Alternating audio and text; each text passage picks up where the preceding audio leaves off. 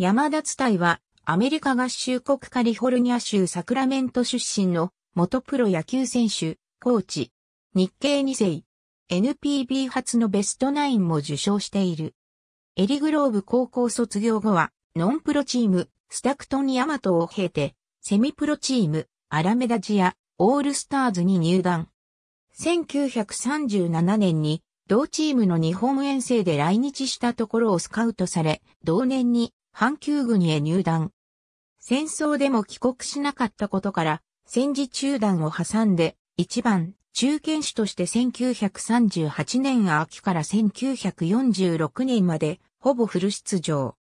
1940年には個人打撃成績5位の打率272を上げてベストナインを獲得。その後も1944年まで5年連続で打撃成績10位以内に入り、特に1942年は打率250、1943年は打率272の好成績を残した。また、1939年と1943年の2度、盗塁王になっているが、1943年に記録した56盗塁は戦前のシーズン最多記録である。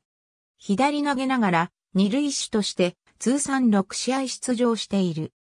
また、1940年には投手として1勝を記録しているが、4月6日に挙げたその1勝は対南海戦にて32から2で圧勝。現在も最多得点、最多得点差のプロ野球記録に残っている試合で関東勝利したものだった。